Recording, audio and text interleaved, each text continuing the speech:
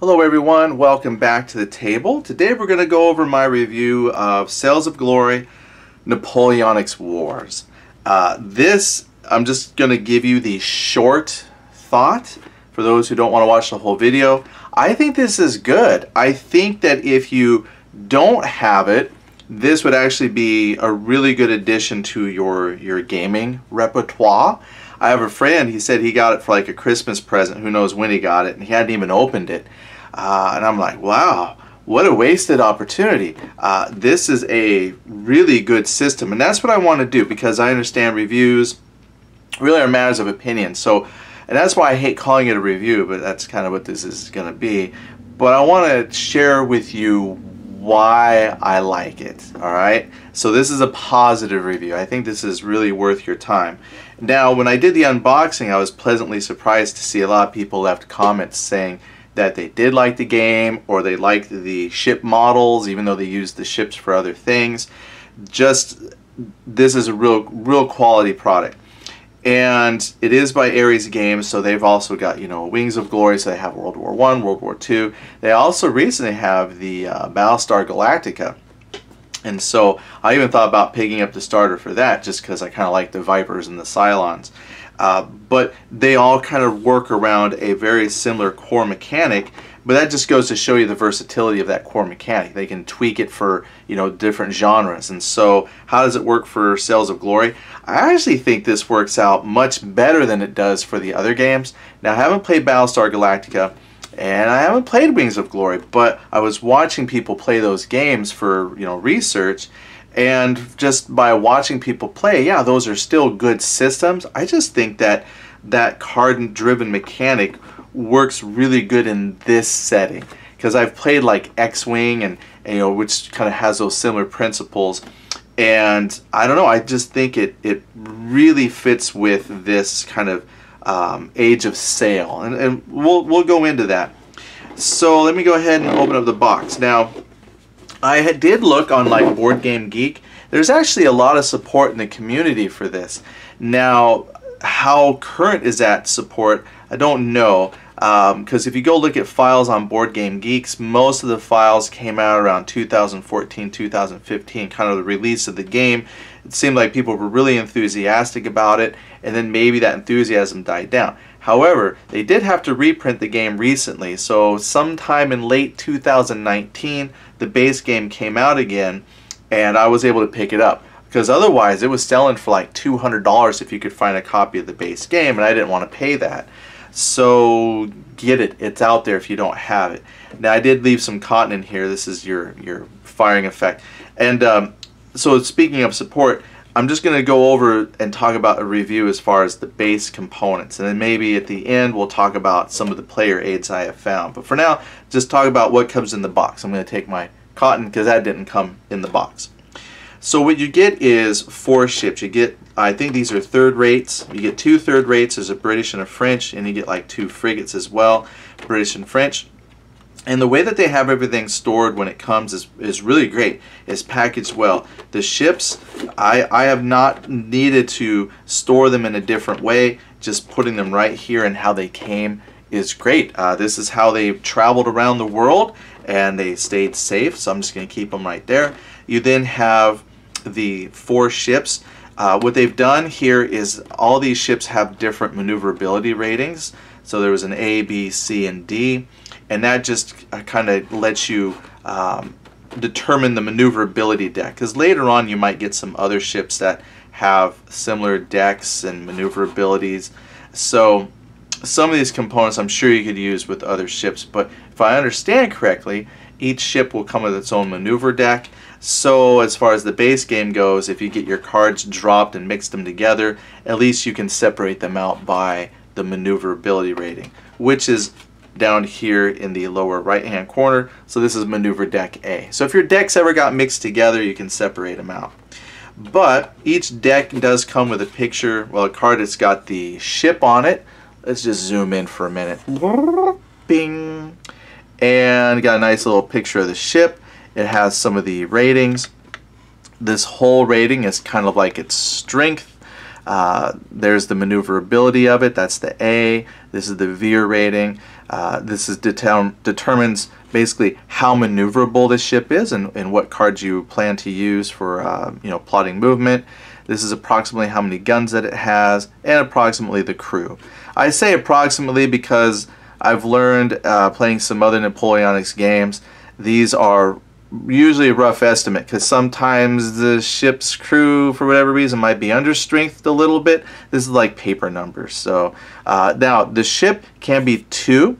So we can either this here uh, let's see this is a Concord class but you either have the however you pronounce that in French or you can flip it over and then you have this on the back. And usually the numbers are very similar. So it has like this this one here same hull strength same maneuverability deck same maneuverability number, the Veer number. But this is 32 guns and this is 34 guns. Crew 280, still a crew of 280. So just slightly different numbers, but it doesn't really affect anything in the game. Uh, which is interesting because the number of guns really don't seem to make a difference in the game except on, I take that back, when you have your ship data here that could have some bearing on the game. So I was only thinking because like when I play um, another game, that number of guns, even a difference of two, might change your, your fire factors for shooting, and so that could make a big difference. But I didn't see too much of a difference here. Anyway, rambling on at this point. All right, so you have, again, beautiful storage for the game. You've got your ship stored, and you have your maneuver decks. Now, what I did for the ships, though, I did have to tweak it a little bit. What I did with these ships is I did put a little bit of rigging on them, and I was trying to figure out how to do more rigging on the out edges of the sails and whatnot. And I'm actually glad I didn't because if I put it in here there's these tabs here that stick up and it pokes into your rigging. So I tried to cut it down a little bit. The way that these form factor for storage is I don't think would be too kind to much more rigging than what I have here so maybe later on if I come up with a better way to store and carry these so if I travel and bring them I can keep the ship safe and then I can have a lot more intricate rigging. But for now cutting out those tabs because uh, what happens is the tabs that were coming up between the sails was pushing on the rigging and I didn't want that. So I just trimmed that down. That's the only modification I did there as far as storing the ships it's just trimmed down the little parts that were protruding up into the rigging. Then everything else stores in here just fine. So here we've got the shipboards. And the shipboards, well one, I really like the artwork on the game. I think it's very evocative. It does remind me very much of like Napoleonics type of stuff. I, I just think it has that old-fashioned, old-timey feel to the artwork. So I think it's great. And the information on here is pretty detailed. I was trying not to make direct comparisons to other games because I didn't want to say why this is better than other games. I just wanted to, you know, talk about why I like this. I do have some games where a lot of this information is on paper. You have to write it out. You got to track how much crew you have and it's by a number. You got to keep track of you know which guns are loaded, how long it takes to reload, and all that is tracked on paper in terms of like turns and rounds, phases. This does everything like that, but in a nice visual way. And since I'm kind of a visual tactile person, it's easier for me to see what uh, sail rating I'm at. I just have a little marker here. I can tell my crew. So instead of writing out on paper, okay, my crew is doing this, my crew is doing that, my crew is doing that, I actually have a counter that represent the action. So if I want my crew to pump water, I just put the pump water. I don't have to like write out pump water. So it tracks all the same information you have in a much more complex game, but it just does it with little markers. And for me, being the visual person seeing it, I think it's great. I don't have to write stuff down all the time. Uh, same with like the ammo. I don't have to track you know, I don't have to write down grape shot or double shot or anything like that. I just have a little appropriate counter that says, oh, this is what I have loaded. So the, the little play aid here for the ships I think are, are great. And I'll just set them off to the side. Then you got these two measuring sticks. Now again, other games I play, you're going to measure with like, um, you know, tape measure which is fine because games might play in centimeters or in inches or whatever. But I have a friend that for, uh, I'm to pull this out just a little bit, one of his Napoleonics games that we play as range sticks. So this is not a new concept to wargaming, having like range rulers and range sticks with the bands marked off. This might make it feel kind of board gamey to some people, but um, it would be the same thing because my friend, he didn't have them in cardboard. He's made them out of out of sticks, and he just cut the sticks to lengthen, and he painted them to the range bands that he needed. So this is the very similar. If a person was really, really uh, you know, hardcore into their gaming, do the same thing. Go buy a stick, cut it down to this length, and just paint it appropriately. So this is just a range stick. So instead of having to carry around a tape measure, you've got this. And it works great. Uh, I think it's just fine. So you got two of these, one for each player or however you want to split it up. Uh, the only thing, there's not much granular granularity, I guess, in the damage where it's just out to here. It's all, you know, a. Uh, some games I play, the the range bands are there's a few more range bands. So cannonballs really lost effectiveness as they started to get out to the end of their uh, distance of firing, and so you almost need a range band out here that's weaker to simulate the fact that those those shells have really lost an oomph by the time they've reached out here. So I would say maybe that might be the only kind of drawback is there's not a lot of granularity in the damage. That's alright though. I'm okay with that. It works. It works just fine. Alright, now the rule book came in here and it still fits in here just fine. Gotta pull this out. Let me talk about this rule book. One of the things I found absolutely amazing about this game is the amount of detail and complexity that you can throw into this and it's not a very big book I've got a binder over here of another Age of Sail game that is huge. The difference is the binder game that I have actually includes a lot of background information to what sailing like age of sail means what does napoleonic sea gaming type stuff means has a lot of background of you know what the different types of sails were this has no background at all, other than the beginning is, you know, hey, this is Age of Sail Napoleonics. There's not a whole lot of fluff, if you will. So a person, I don't think you're going to learn a lot about ships and sailing and whatnot from this game.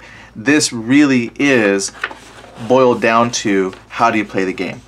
But it's really well done. I love the fact that it's nice and full color, has good little examples in here. This is an amazingly well done rulebook. I do flip back to the rulebook on occasion to answer questions that I have, but it's easy to find the information that I need. I didn't think I would like this form factor of a book, but it works really well. And when I read it on my tablet, it fits perfectly to the screen size of the tablet. I don't have to scroll. So even when I carry this around electronically, it just works well. Now as far as the complexity, yeah, the basics of the game aren't that much. Move, shoot, there's no critical hits. You don't have to worry about changing sail types and things like that. But the amount of rules that this has is really good. Like for example here, just looking at the table of contents, I was really impressed by what they have in here. Uh, there, there's the rules for reloading guns. It takes time to reload. Uh, there's different shot types that you can choose in the future. In the basic game, it's just ball shot, but later on there is like the chain shot and like the grape shot. Uh, there's also double shot. The only one I didn't see in here was a hot shot. I don't see a lot of Age of Sail games have the hot shot, but basically they could superheat cannonballs but you had to be very careful because when you superheated those balls, they would tend to expand. So either they'd get stuck in the barrels of guns, but when they worked, from what I read, they did an amazing job of starting fire or just causing a lot of trouble. It's just that they sometimes caused as much trouble to the ship firing them as they did the target ship. So probably don't see those too often, but I think that would have been fun to see in here was fire shots. Uh, that might have to be a special rule I come up with. But again, you've got planning of your crew actions. There are critical hits that you can deal with. There's flooding, there's fires. When you play the basic game, there the whole time I was playing, I kept going, man, you know, this would be fun if we were playing with, uh, you know, the the flooding and different things. But we were really just trying to get the basics down. But those rules are there. You have collisions. There's oh, they even got rules for aiming high because you're trying to shoot at the rigging.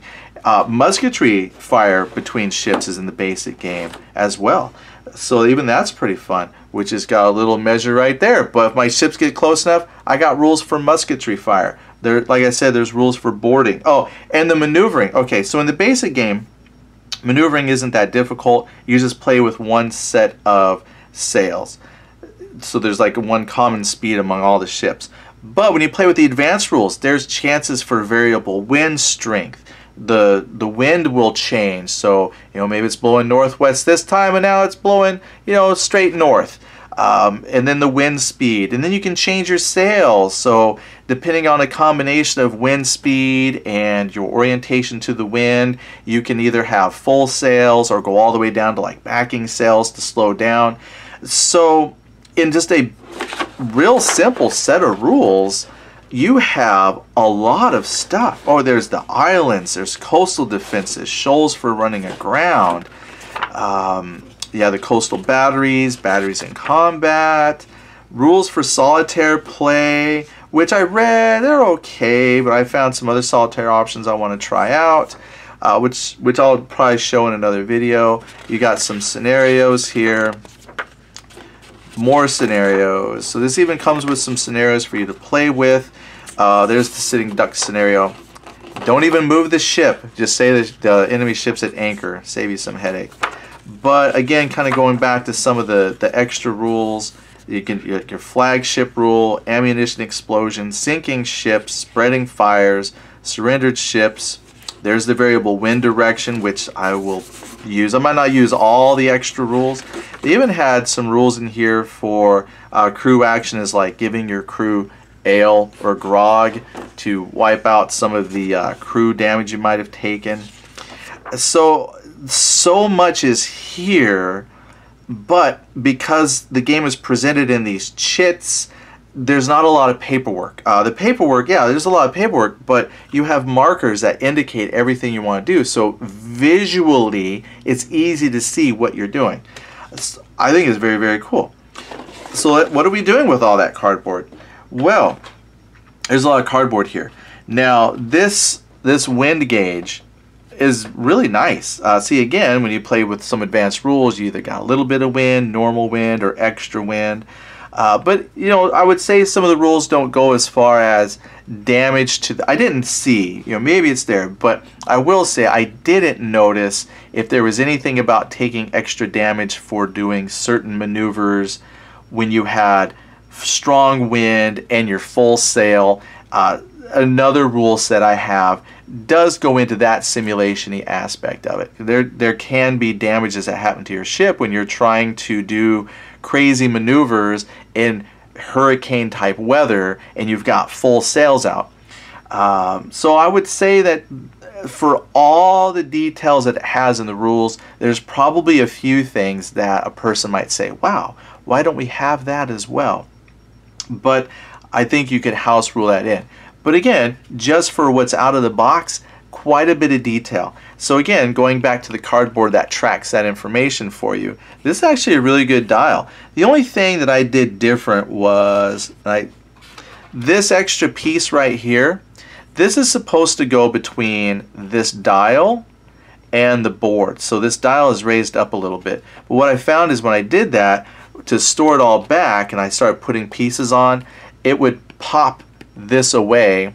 It just put a lot of pressure on here and uh, I actually found that this is more secure and holds better if I just put this directly to the dial here, to the gauge, and this the plastic pieces that hold it together. It just works better. So this, if you get the game, I would recommend not use this piece when you construct your little wind gauge just put it like this and it, I think it, it's going to work and it stores so much better. So this is your wind gauge. Uh, very simple. Just is my wind going to the southeast, east, northeast. Now, the you could actually argue, um, depending on how you play your game, most of the time when we were playing the wind with my son and I, you know, we just put it on one of those cardinal uh, you know one of those those points directly. It was southeast, south, southwest. Uh, a person, if you wanted to, you could have more granularity in here if you wanted. It's just that the way the game plays, I think it was fine just going on the main compass points. Uh, but a person could make subtle in-betweens if you wanted. Because what you do to determine, using your tools here, um, how the wind is affecting the ship, you know, you're going to play this on the board, the, you know, the wind, uh, you're going to point the compass to the north, and then the wind is coming in. And then what you do is you take this, this is kind of the attitude tool, and you would place it, let's say I've got a ship right here. So I know the wind is blowing there, so what I do is I put this on the board kind of in the direction that the wind is blowing and then point it at the main mast. And I know I could see right away that's coming at the direct back of the ship. And that's why this is kind of in a hex I have found is on the I haven't got it yet, but I was looking at the official Age of Sail mats. They have a bunch of like latitude and longitude lines on there. Uh, they look kind of cool, but those are great ways to line this piece up on those lines so you can get this facing exactly in the compass direction of southeast or south southwest. That way you're getting more accurate measures. But again, if you're having more free flow with your wind directions, I mean you could have this thing anywhere you want as long as you're pointing at the main mast. But I was just thinking again within the aspects of the game design, a lot of these things just kind of make sense the way it works. So if I'm, you know, if I know the north is that way and the wind is blowing southwest, having this on a hex just made it easier for me to identify, okay, this is blowing south, you know, um, west or southeast. So I got backwards, southeast. Anyway, it, the, the cardboard is just amazingly well thought out. The only thing that wasn't thought out well was the assembly of these gauges here. Uh, they fit very loose in the plastic that holds this in. So you got a, a, little plastic piece that shoots up through the bottom of here and you just rest this in there. So I just took some Elmer's glue and put a little bit of glue down in there, stuck this in, it dries clear, you can't tell it's been glued, but it holds together very well. This was thought out pretty darn well, and that holds together well. These, they weren't thought out as well, and they fall apart pretty easy. Even though there's a storage for them to be stored assembled, just drop a little glue on there, and then they hold just fine. So again, the cardboard, very, very great with the artwork, very visually makes me think of Napoleonics, and the pieces, just glue them, they hold together, you're good. All right, the ships also, again, thought out really well on these bases.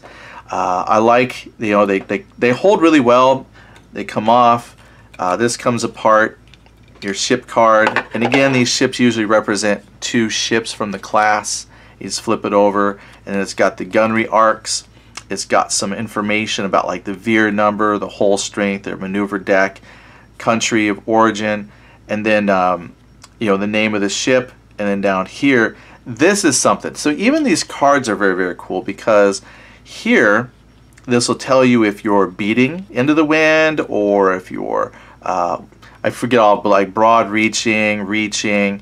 So the red means you're facing the wind and you're going to get blown backwards until you can turn your ship so it's going with the wind again. Orange uh, you're you're beating into the wind, so you're not going as fast. So some of your maneuvers aren't as you know far distancing on your maneuver cards. And green means you're going with the wind. Now this was so clever because again, talking about the more complex rule sets. Um, yes, I have one where it actually talks about where if the wind is coming up from behind the ship, the ship actually doesn't go quite as fast if it's directly in line with the way the wind is blowing because the back sails tended to block the wind from reaching the front sails. That's why these ships always kind of sail at angles to the wind, or if you watch, these the sails rotate to try and help catch the wind. Like these masts actually will rotate and everything. Like they're very that's what all the rigging is for. It helps hold everything up and then it's used to rotate stuff. So uh, it's right here very cleverly replicated on the fact that at the very back of the ship is orange. So yeah, if you're at an angle to the wind, you get your green maneuver rating. If you're directly with the wind, you get the orange. So there's just little bits of detail that replicate those more complex games, but it's all calculated into these cards. It it just it amazes me every time I get in here. I'm like, man, this has that rule, and it's just so easily figured out. So that's again another part of the the components that help you simulate more complex actions, but it's all not on paper, it's just right there as a visual aid. Now what I did here for the four ships was I created these little packs. I got little snack bags. You've got the board that lays inside of your main ship board. This has all the ship specific data and then I put all of the counters for that ship. This includes all of the different ammo types and all the crew actions that you can do. So that way when I want to set up, I don't have to go through one big bag of counters. It's just all stored by ship. So what does a ship look like? Alright. Other than the miniature, what does it look like as far as the cardboard goes? So again, helping to simulate all that extra data you might have on the more simulation games. It's all right here, but in a nice little whoop. Let's move it in here. And that's good enough. So here you have, again, like the ship hull strength. You've got their maneuver rating, the Veer number, that will match everything on your card. Here you track your crew. Here you track your, your number of guns that you have, and then here's how many crew actions you have. And as you start to lose crew, you get fewer actions you can do. And what's so cool is it's visually tracked. Oh, I love it. Let me show you here. I'm going to pull out some of these items. This right here, if you had your ship assembled, basically, if I'm playing, say, one of my more complex simulation games, this would be a sheet of paper, and I would have to check off boxes, fill in blanks, and whatnot. But all of it's here. Uh, in fact, let me grab a sheet of paper. Oh, it's not quite as wide as sheet of paper, but if I put it this way, right? So this is a ship tracker log from another game, right? This is uh, Post Captain. Here's crew assignment section Here's all your plotted movement. Here's where you plot down uh, what your ship can move. So there's a few pieces here. Now, this is only part of the ship log. There's actually a whole other piece I don't quite have here handy. Yeah, I do. No, I don't. Yes, I do. No, I don't. Yes, I do. I said I wasn't going to do a direct comparison, but I'm gonna. Uh, because again, I wasn't trying to say why this is better and why another game sucks. I just want to maybe highlight some differences. So this is one of those more traditional simulation games.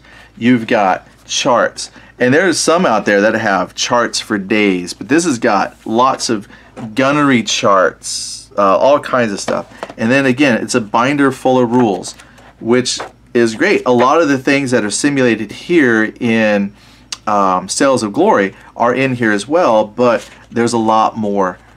There's a lot more uh, rules here for like the boarding. There's a lot of rules that cover boarding where it's not as many, but it still has boarding.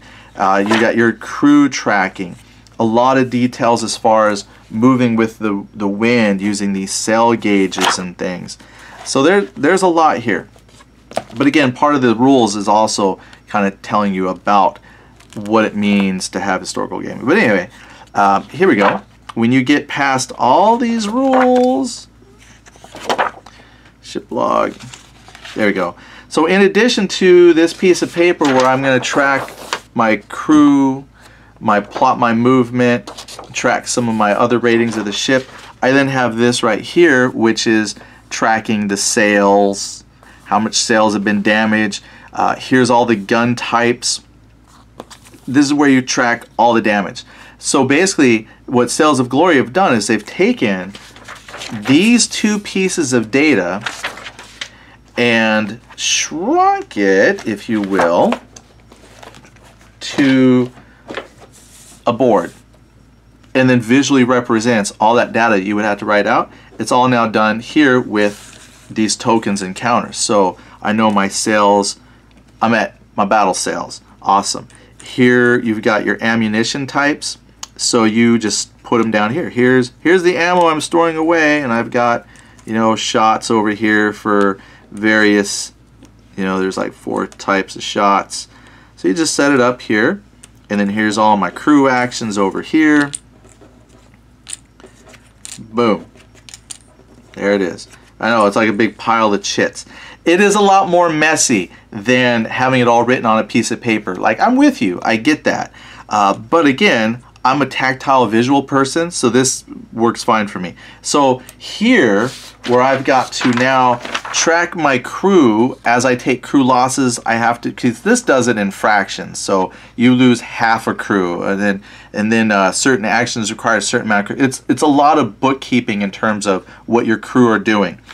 Here on the actions, I got boxes to track reloading and uh, the maneuvering that they do, and I got to track my sails and then my cell numbers based on just a lot of stuff, right? But here, okay, if I want a crew to go from increased speed, okay, of my four, well, of my four crew actions, because I have enough crew to do four things, one's going to increase speed, these guys are going to fire those guns, uh, while these folks reload the other gun, and then uh, we got some people that are going to do a repair because we have gotten far away. Boom, plotted, tracked, and as I take damage, I eventually will have fewer crew to do stuff. Same with the guns. As the ship takes damage, I'm going to have fewer guns to do things with. So all that complexity, that's why I love this game. All that complexity is just funneled down to a nice pure essence that you can track on this one thing. What that does mean though versus say the more traditional game is uh, it takes up a lot more table space if you're going to now manage a lot of ships because you got the maneuver deck and you have this. So you've got to have, say, your maneuver deck off to the side with the ship, all of the counters for that ship. So what you have to do is, if you want to play with more ships, so say three per side, four per side, you can do it. You just have to buy more of these uh, frames that come with the appropriate crew counters and action counters to do things. So that might be one drawback to this. Uh, whereas if you want to have more ships, you just got to print out some paper. So advantage, disadvantage, I'm just saying that for me in the small scales that I do, this works great. Uh, this would be a very difficult game to play if you were going to try and do a large fleet action with a bunch of ships. Uh, it would definitely be a lot more difficult because you'd have to buy a lot more components. You that's right, you'd have to buy a lot more components to play it. Okay, but again, since I'm a visual person, it's awesome. Start your turn and you flip over what you're doing, and then in that particular moment of the turn, you would then activate and do all of these actions. So it's really, really cool. These two actions you couldn't do together because they're on the same side of the ship. Um, this even has little ship indicator telling you uh, if it's port or starboard side. So again, all the little details are just baked into the components. I think it's just very, very cool to me. Now, that's a very basic part of the this the game, right? That's that's a small portion. Let me just move this aside here. There's more components in the box. I know I feel like I'm rambling, sorry, but I'm just so excited. So I've got the four basic ships are stored in here. Oh, that one's shoved down in there. Uh, but there they are. They go in there when it's all said and done, they mostly fit in there with no problem.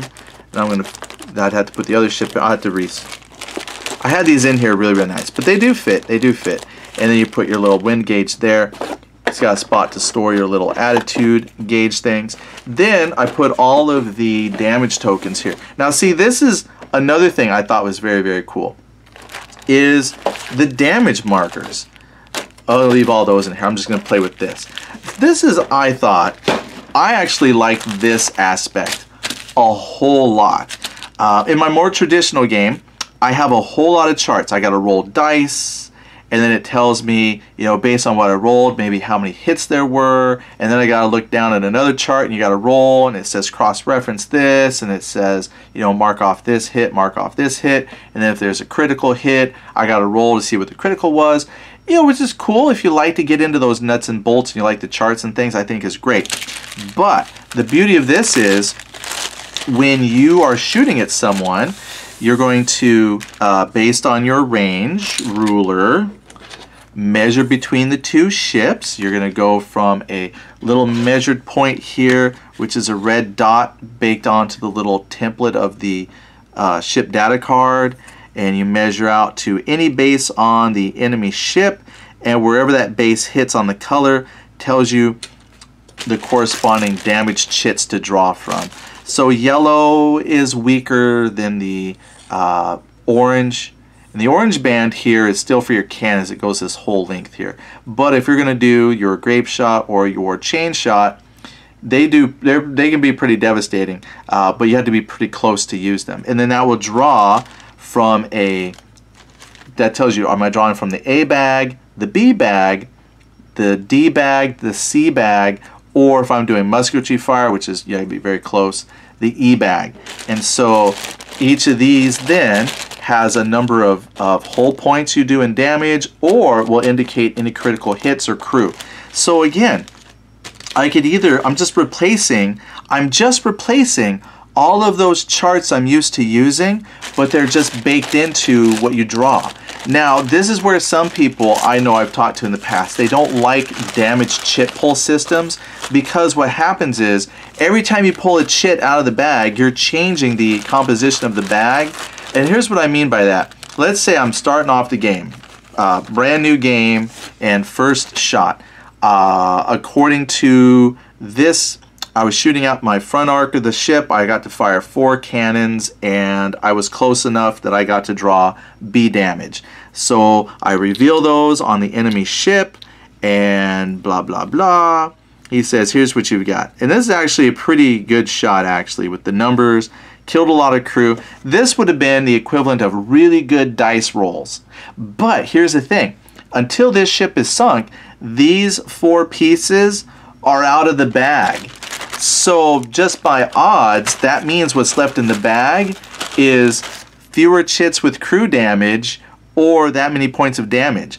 Uh, yeah, so I did devastatingly well this time against the person, but now that person returns fire, these are not in there. Um, I've drawn them already, right? So basically, here's what happens. If I draw and say I draw a bunch of zero damage, Okay, cool. That means I would have rolled equivalently really bad.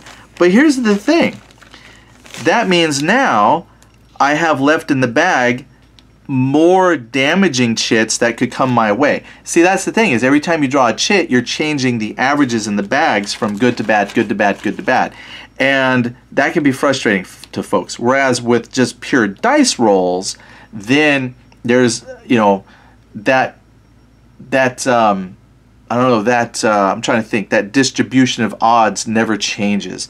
So I can see the benefit of dice, but I tell you, again, as a visual person, and I roll really crappy on dice, this is fun. You shake up the bag, you look your opponent in the eye, and you start drawing a couple of these things, and you're like, yeah, uh, take that. You throw him at his ship, and he's like, oh man. But what's cool is because gunnery is simultaneous, What's nice here is uh, you can draw your four chits, you lay them next to the ship, but you don't actually have to apply the damage until all the ships firing have got all their damage chits applied. So this actually makes simultaneous gunnery really nice compared again to my traditional game where I'm going to have to make a lot of notes and things and um, you, you apply damage and then it's like, well, I got to roll my damage back. I'm not saying that uh, it's difficult to do simultaneous gunfire with more traditional paper tracked games. I'm just saying this makes that easier. So again, you still have those same elements that you get in your traditional games. They're just visually represented and I know that doesn't appeal to everyone, but for me, being a tactile visual person I am, this is great. Zeros go down here, and then you look at this damage number, compare it with the ship's strength. This is like their armor in a way, and so you have to equal or exceed that number in damage before you have completely filled in a damage square. See, so an undamaged ship has 464 gunnery, so I'm going to lay them out here from highest to lowest. So here, this is 5. and look, they got a mast hit. And again, there's critical damage that you can track. Sail damage, mast damage, things like that. All visually tracked. It's awesome. And then they have a little a special counter I didn't pull out of the box that you could put down here in your critical hit to track that you've got this sail damage going on. But anyway, now that that 5 equals that, you flip it over, and that means I can start putting damage over here. Let's say I didn't have this 5. Let's say I just had a 4. Well, I would put this here, and that means I still have the capacity to absorb some damage before I would flip this over and I'd have to start filling up this box. So the idea, right, is to fill all these boxes up with damage and sink the ship. So if this was really what I drew, I would, that 5 equals that number, so I would fill this in, and then my next damage would fit here. And then if I had, uh, let's say, a 3, well, 4 by itself does not meet or exceed 5, but this 3 on top of that 4 makes 7. So together those two would flip, right? So really, the higher your armor value here, that means the ship can take a lot of punishment before it starts to lose its integrity. So that's very, very cool. I can't wait to get some first some uh, some first rated ships to see what kind of damage they take. So even tracking the damage really isn't that difficult. Uh, I know my son on one of my smaller ships, he got a, a, six. He drew a six in damage, but only had a strength of two. So it still just filled in one box because whatever damage you have left over doesn't carry over. So if you exceed a box by a whole lot, yeah, that box is gone and I have fewer boxes to fill in, which affects the gunnery. Uh, but at least it's not like you, you don't automatically fill in three boxes from one shot. The way I told him is imagine it like uh, playing World of Warships where you have overpen. The gunnery was so powerful it just ripped through the ship, got those few important components it needed, and then just blew out the other side. So anyway, um, visually tracked, which is what I love. It's all visually done. Uh, and again, I'm not, you know, having to erase and track things. The only problem is, and then here, like I got crew, so if I take more crew, then at some point I'll have fewer crew actions I can do, and their musketry fire value eventually starts to dwindle because I'm losing crew. And if I lose all my crew, that's one thing I, I had to go back and read. I don't remember reading. If you lose all your crew, my understanding is if you lose all the crew here, you're not going to be able to shoot you don't have a lot of crew actions to like reload guns. So the ship is kind of effectively dead, but it is just sitting out there. Whereas if you lose all your hull strength, the ship is sunk. So this might be where they strike colors and surrender. So yeah, you gotta be careful about losing the crew. Uh, even though the ship might still have people on it, it might not have enough to actually reload guns, change sails. It just has a very small crew. They're like, yeah, we're done. So this can also represent morale. So again, all of these complex thoughts just in a very nice, tidy little system. Uh, and that's really just kind of the basics. I didn't want to go a whole lot into how to play the game. Again, I wanted to cover why I like the game. Uh, what's cool is if you do play with the more advanced rules, like where you have ships on fire and things like that, the ships actually die much quicker, right? Because they're flooding, they're filling with water. Uh, and there's not much more bookkeeping that you have to do to track all that because it's going to be done with these little markers to track, you know, who's fighting the fire. You know, oh, he's putting out the fire. Oh, they're running the pump to get the water out that got onto the boat. So again, those complex actions are handled very simply with this counter system. And then that drives the ship. The only other thing that I've actually found I enjoyed more than I thought I would was these movement cards. Uh, yeah, I didn't think I'd be a big fan of this, but actually it turns out pretty good. So with your little ship chart, you can put your little ship there. I found that you don't need to have that there when you play, but it is kind of neat. Like, oh, there's my Charmant class frigate or whatever side you're playing on. There's my Concord class frigate with data. But all the data you need here is on whatever side of the ship you're playing. So not needed, but there's a spot to put your little ship card. Then you're going to do your movement. And what's cool is, and this probably be the last thing I talk about, is even, you know, they might not have meant it, but it works in really well as far as my other simulation games.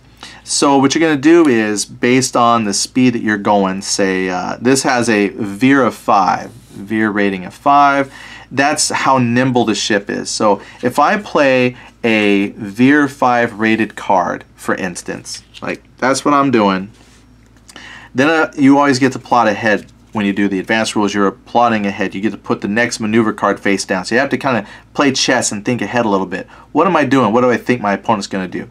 So that veer rating of 5 that the ship has means I can go, and these cards are rated from, say, this deck here is from 0 all the way out to a 10. So I can shift based on my veer uh, five numbers of movement. Okay, so if I played this 5, my next card could either be a, all the way out to a 10 or all the way down to a 0. But let's say I did that. Let's say my next maneuver I play face down, I had that as a 10. So while we are doing our, you know, revealing what we're doing, I go to my opponent. Yeah, I'm playing this here 5 card, and then next is a 10 and as long as I'm not violating that, we're cool. Now, I'm then having to look here and go, okay, what do I want to play next? Now I have to plot ahead for the next movement, right? I couldn't play the zero because my veer rating means my ship isn't that nimble. I can't click the brakes and go all the way down to a zero move. I could only go down to a five. If I try to play a zero move, I'd be in violation of the ship's veer rating and the handling. See, so the 10 is going this way drastically. What it's saying is I can't, at the drop of a hat, swing back around. You know, like it's not going to happen. You're not going to be able to do figure eights in the water with this particular ship. Some ships are pretty nimble and you can come pretty close to that.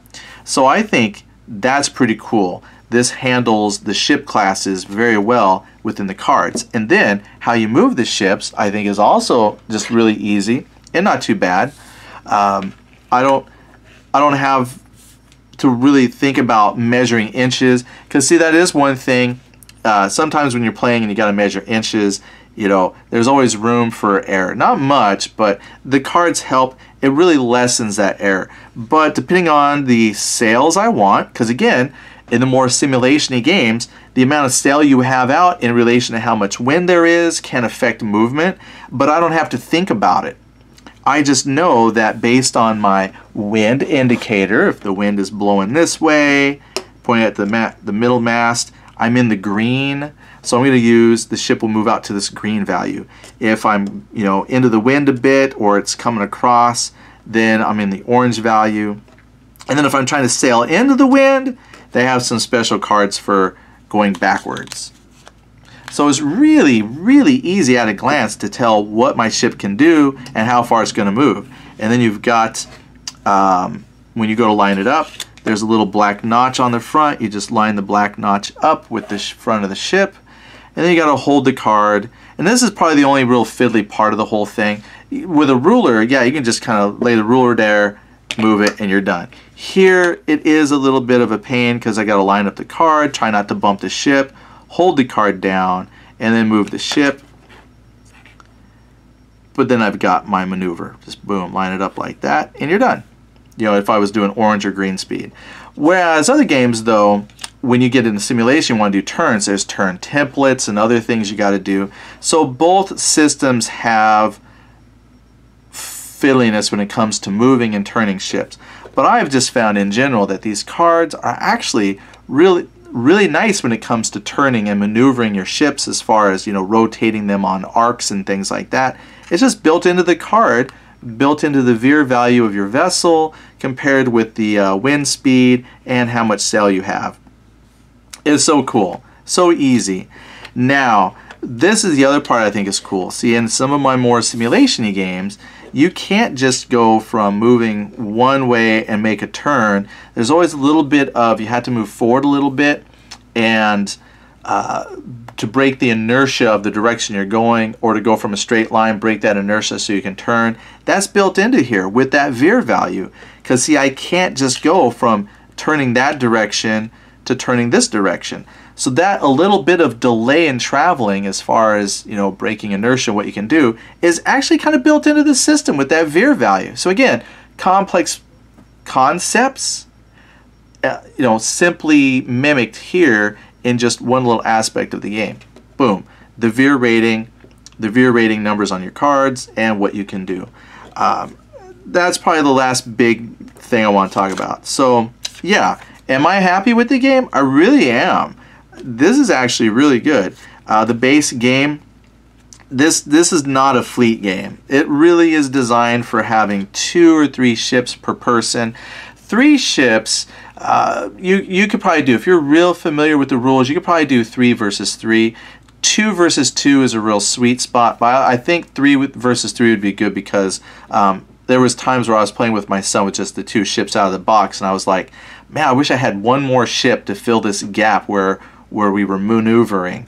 So I think that's what I'll do is buy one more ship. I'm going to get it, like I said, a, a first rate ship of the line, and then uh, the extra ship pack, and then we'll do like three versus three, or at least maybe one versus one on these two big, you know, first rate ships.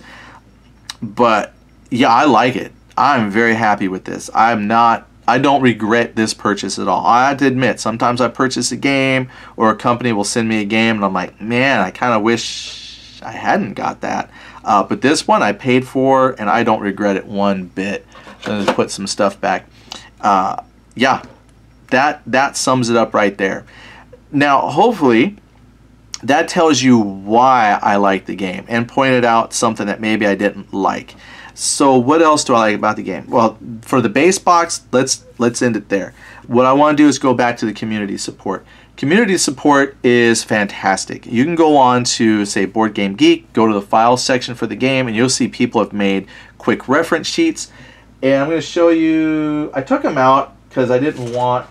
Oh, I, of course, I set them off somewhere where I can't reach them. But um, yeah, I, there are community made files out there for things and um, I printed out a quick reference sheet that has you know basically all the phases of the game. And on one side it's got what all the different uh, damage effects are to help you track like flooding and fires and stuff like that uh, which is very nice just having it on a sheet that I can flip. It also had a sheet for the optional rules. So that was very cool. I mean it's all in the book but just having it on a quick reference sheet so I carry you know two pieces of paper, two double-sided pieces of paper versus my whole book was nice. Also, as far as the community, I didn't print it out yet, but somebody made a really cool um, paper that is basically this data board just on a sheet of paper. So instead of having all the cardboard chits, if you wanted to go paper, you would print it out. And what's cool is it's form fillable. So depending on the ship that you have, you can type in all these values for the gunnery and like the musketry ratings, and then just track everything on on that paper, which I thought was very very cool. So there's even a paper version of this you can do. Uh, another cool thing I wanted to show, and I haven't got this to work yet. That's just me because I'm not very technical savvy, but I found this. It is on the App Store. It's the Sails of Glory solo software, and I really am trying to figure out how to make this work, but when when it works, and I'm told it does, you basically it will tell you what the enemy ship is going to do. Uh, this is actually a little bit clumsy in using, and I think it would be very hard to do like a three versus three or a two versus two. I think this would work good if you're doing one ship versus another kind of a thing, but the reason why is you got to fill in the ship info for each ship. So you got to do the ship solo type, uh, burden higher than three, so it's a big ship uh, clip for the got to put in the veer rating. So the ship has a veer rating of five, for instance. Like if I'm doing this defense, the main target that I'm shooting at, it's shooting at another ship that's got a higher than five burden. Then I got to do the distance.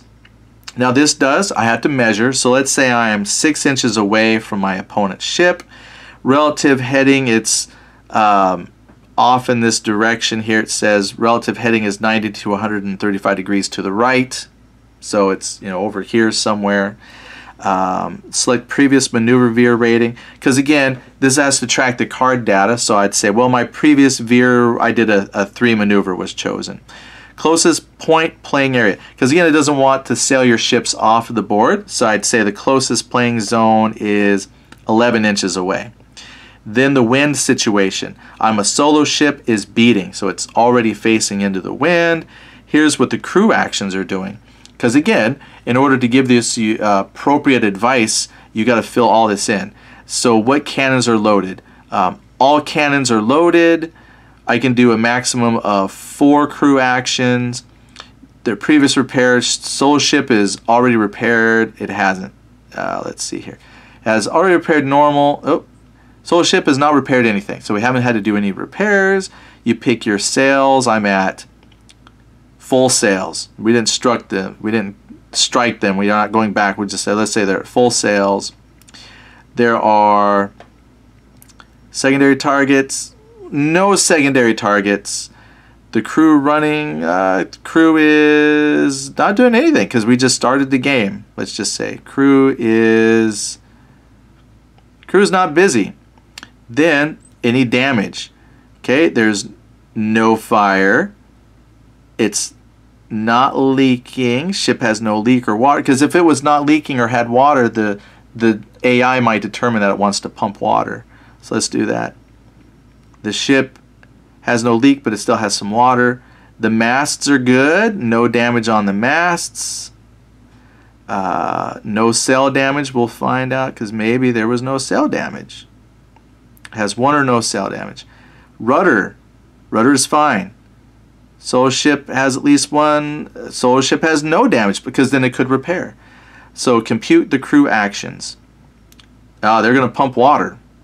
See, so I can. That's what the crew is doing. But, okay, so here's the maneuver. And this is the part that's broke. Uh, so I could get just the maneuver or I can do the crew action. See, the crew action part works, but this maneuver part, I haven't quite got that to work yet. Oh, there it is. I had to select a maneuver. But there, there you go. See, if you get it working right, boom. This will tell you, play this card. See, isn't that cool? So the community has thrown out a lot of really cool support things for the game. So I love it. I just had to figure out this zone. Oh, there's there's rules for instructions there, how to use it, which I should probably read better so I understand how to do that. But that's what's so cool. This will tell you not only what the crew action will do, because that's sometimes, you know, as you're as you're playing, you, you got to decide for your ship what you want to do. Uh, but if you're doing solo play, you don't necessarily want to have to take the time to, to figure all that out for the opponent. This will do that for you and it'll pick a maneuver. So I can either just pick out the maneuver or tell what the crew is doing.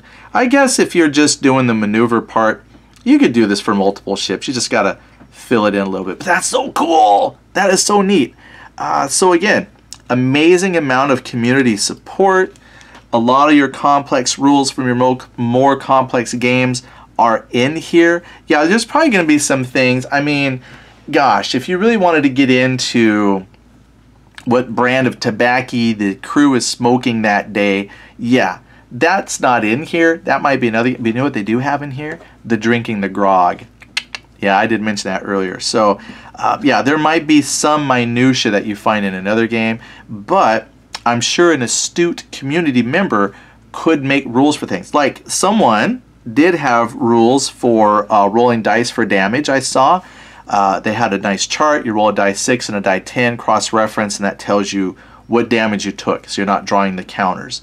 Um, also, another one said, hey, how come we don't have chaser cannons? Right? These things could shoot straight ahead. Some of the forward guns could shoot forward, right? Or maybe out the back.